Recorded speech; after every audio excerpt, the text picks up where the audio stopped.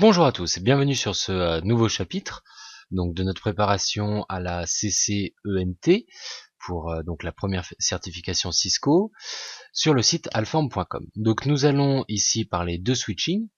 Nous allons commencer avec une petite vidéo présentant les fondamentaux du switching. Je ferai quelques rappels de ce que nous avons déjà vu dans le chapitre fondamentaux et ainsi qu'un approfondissement euh, des sujets liés au switching. Et ensuite, nous pourrons passer à la pratique avec les vidéos suivantes. Donc, qu'est-ce que nous allons voir dans cette vidéo?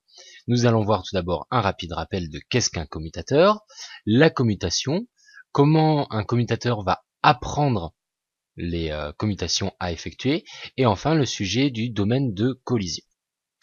Donc, Commençons avec le rappel. Qu'est-ce qu'un commutateur? Donc un commutateur, c'est un élément de niveau 2, donc un composant réseau de niveau 2 par rapport au modèle OSI.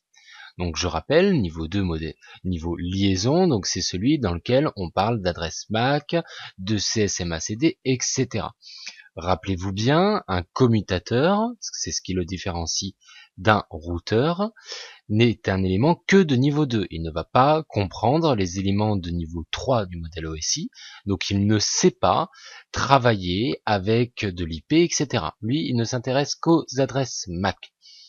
Donc il apporte de nombreuses fonctionnalités supplémentaires par rapport tout d'abord aux éléments de niveau 1 à l'élément de niveau 1 qui est le hub. Donc tout d'abord, la première chose qu'il va apporter en plus, ça va être la commutation, c'est-à-dire l'aiguillage. On a déjà vu que le hub s'occupe tout simplement de répéter un signal sur ces différents ports. Donc il n'y a aucune gestion intelligente de ce signal, il ne sait pas comprendre le signal, c'est pour ça qu'on dit que c'est un composant de niveau 1, il ne travaille que bit à bit.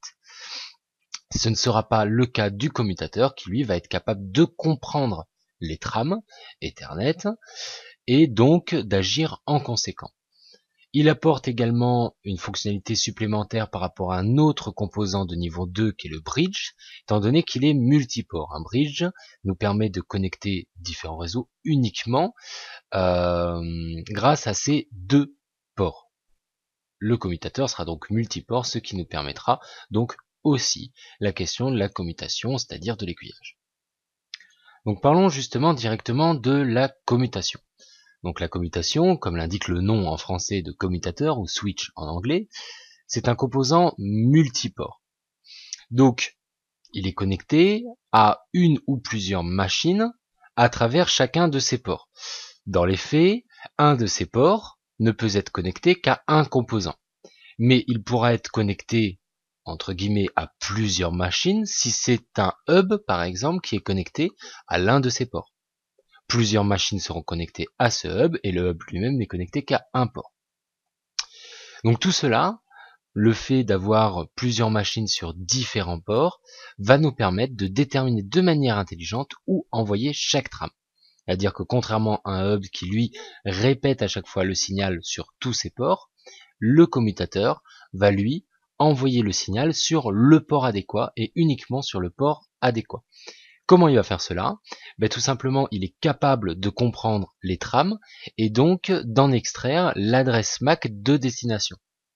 Grâce à une table qu'on appelle la table CAM pour Content Addressable Memory ou table CAM, il va faire une correspondance donc entre ces ports et l'adresse MAC de la machine ou des machines connectées sur ce port afin dans le futur de n'envoyer les trames qui ont pour destination cette adresse MAC que ce port-là.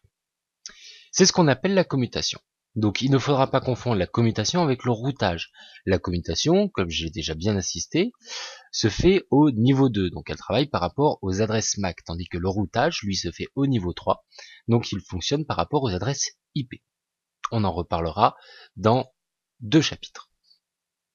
Donc comment notre euh, commutateur va apprendre les euh, différentes adresses MAC et les enregistrer dans sa table CAM?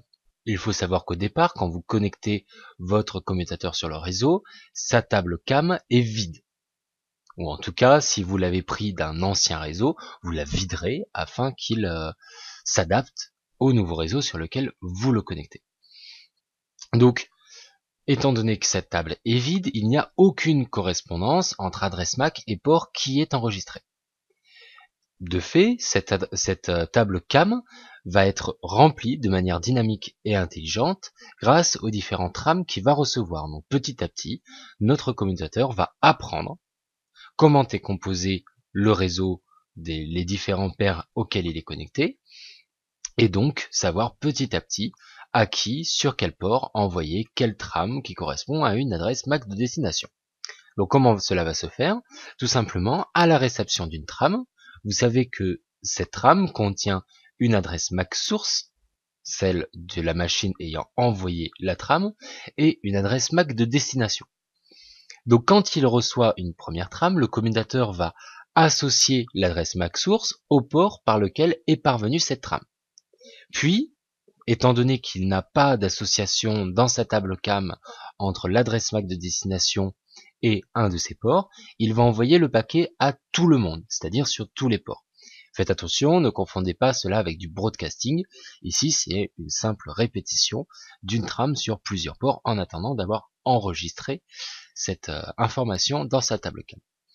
Ensuite, quand la machine de destination répondra à cette trame, donc il n'y a pas euh, de procédure euh, d'accusé de, réception, etc. Hein. Bien entendu, une machine reçoit une trame, donc ensuite, en remontant les différentes couches, etc., il va interpréter les informations de cette trame et agir en conséquence.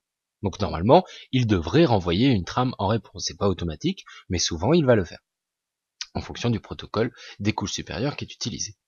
Donc quand cette machine va répondre à cette trame qu'elle a reçue, le switch, le commutateur, pourra à, nouveau associer l'adresse MAC source de cette trame qui a été envoyée en réponse au port par lequel cette trame est parvenue.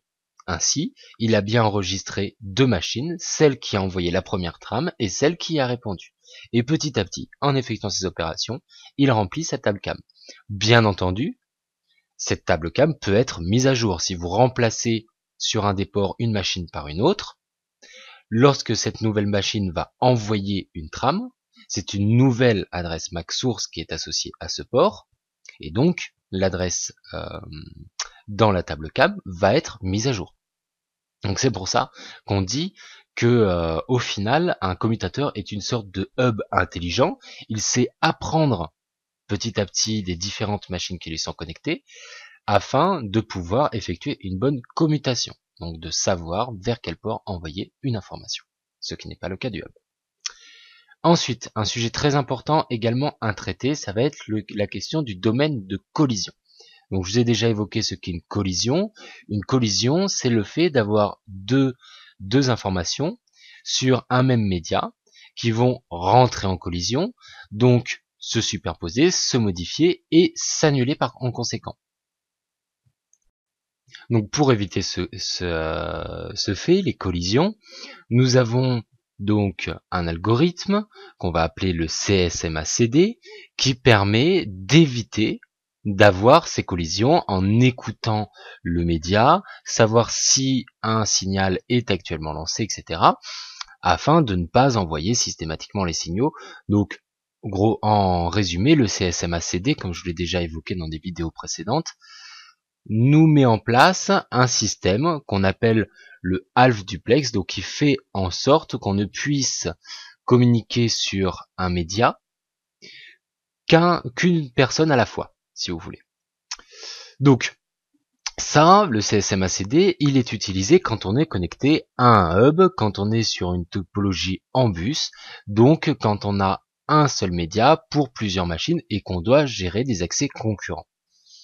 Ce ne sera pas le cas quand on sera connecté à un switch, car le switch, lui, sait gérer de manière intelligente les différentes trames, c'est-à-dire qu'il va pouvoir stocker la trame, et l'envoyer que quand le média est libre, ce qui va permettre d'éviter les collisions. Donc on peut dire en sorte que le switch nous évite d'avoir besoin du CSMA-CD. On va dire qu'on travaille en full duplex quand on est connecté à un switch, c'est-à-dire qu'on ne se soucie pas. Si un autre euh, une autre machine communique sur le média en même temps que nous. Nous sommes a priori le seul utilisateur du média et le switch s'occupera de nous envoyer une information que si le média est libre. D'accord? Donc, cela va nous permettre de limiter nos domaines de collision. Un domaine de collision, c'est une zone de notre réseau dans laquelle il peut y avoir des collisions. Donc typiquement, c'est toute zone réseau qui est composée uniquement de composants de niveau 1 et dot. Donc dans notre schéma à droite, nous voyons par exemple que le cercle en haut désigne une zone de collision. Donc nos machines sont connectées en half duplex à notre hub, qui lui-même est connecté au switch. Donc toute cette zone, hub plus les trois machines, c'est une zone de collision. Il peut y avoir collision entre notre machine de gauche et notre machine de droite sur leur communication, étant donné que le hub ne se soucie que de répéter les informations bit à bit. Donc s'il reçoit une information, il va la répéter pour les trois machines qui y sont connectées. Donc, risque de collision. C'est pour ça qu'on utilise du half-duplex, histoire d'éviter euh, d'avoir des collisions, mais cela ne résout pas totalement les collisions. Et que je vous l'avais déjà évoqué, il y a un temps de latence, etc. Je vous invite à revoir la vidéo associée quand on parlait d'Ethernet pour comprendre mieux ce sujet-là. Donc, le fait d'utiliser un switch nous permet, nous a permis ici, dans notre exemple, d'avoir isolé nos différentes machines pour limiter les domaines de collision. Ainsi, on aura un réseau plus stable. D'accord? Donc ici, chaque machine a entre guillemets son domaine de collision. Dans les faits, si nous sommes sur des câbles à paires torsadées, ce sont deux paires différentes ou deux groupes de paires différents qui sont utilisés pour l'envoi et la réception. Donc dans les faits, il n'y a quasiment aucun risque, il n'y a aucun risque de collision entre un switch et une machine connectée via un câble euh, torsadées. Ce ne sera pas le cas pour les câbles coaxiaux. Ce sera également le cas pour la fibre optique, je vous l'ai déjà dit, la fibre optique est unidirectionnelle, donc quand on se, connecte, on utilise deux fibres optiques, l'une pour l'émission, l'autre pour la réception. Donc il est très important dans le design de votre réseau de bien déterminer les domaines de collision par rapport à l'usage que vous en ferez. Donc nous aurons vu dans cette vidéo une rapide introduction au switching, qui a consisté donc à rappeler tout d'abord les principes du commutateur, l'intérêt et les principes de la commutation, et enfin un sujet lié au design qui est le domaine de collision. Et nous allons directement pouvoir passer à la pratique sur nos switches Cisco en nous intéressant à notre première approche de la ligne de commande de Cisco iOS. Donc je vous donne rendez-vous tout de suite pour cette première euh, approche.